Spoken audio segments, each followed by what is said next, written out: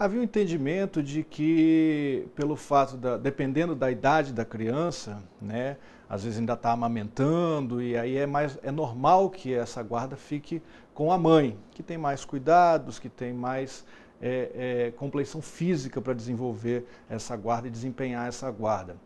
Né? Mas de um tempo para cá, essa, essa, isso evoluiu. Os pais hoje têm completamente, completa é, possibilidade de desempenhar os mesmos papéis que a mãe e vice-versa. As mães têm os mesmos, a mesma possibilidade de desempenhar o mesmo papel que o pai. Né?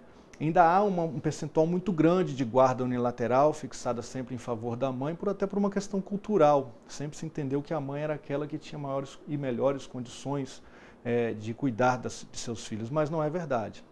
Na verdade, a própria nova lei da guarda compartilhada mostra que ambos têm plenas condições de exercer essa guarda e preservar o desenvolvimento das crianças. O foco anterior era muito voltado para a condição dos pais, né? Ou seja, aquele pai que tivesse melhor condição de exercer a guarda, a ele seria atribuída essa guarda, né?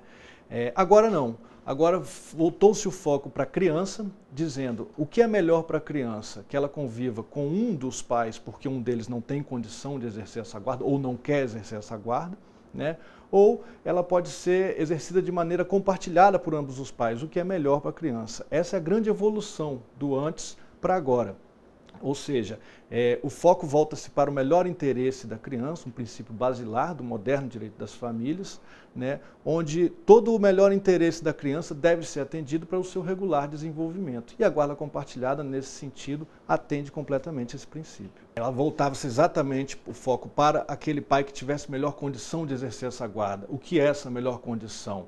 Aquele que tem uma moradia com mais é, é, que atenda melhor né, o desenvolvimento da criança, aquele que possa é, levar a criança à escola com mais conforto, aquele que, que pudesse dar para a criança o seu melhor desenvolvimento. O foco era totalmente voltado para o pai. A lei dizia: é, a guarda será exercida de maneira unilateral ou compartilhada é, é, analisando-se o pai que vai exercer essa guarda, analisando aquele, a condição daquele genitor para exercer a guarda. Né? Esse era o foco. E assim os juízes entendiam. Então eu vou analisar se a mãe ou se o pai tem a melhor condição para exercer a guarda. Presumia-se antes é, que deveria haver um consenso entre os pais para que a guarda fosse compartilhada. Né? O que, na verdade, a própria lei já dizia é, que quando não houvesse consenso, é, e sempre que possível, essa era uma expressão que estava no Código Civil, no parágrafo 2 do artigo 1584, não havendo consenso entre as partes, entre os pais, é, e sempre que possível será aplicada a guarda compartilhada. Essa expressão sempre que possível trazia uma carga de subjetividade muito grande. Né? Isso causava várias distorções na aferição daquele pai que pudesse melhor exercer essa guarda.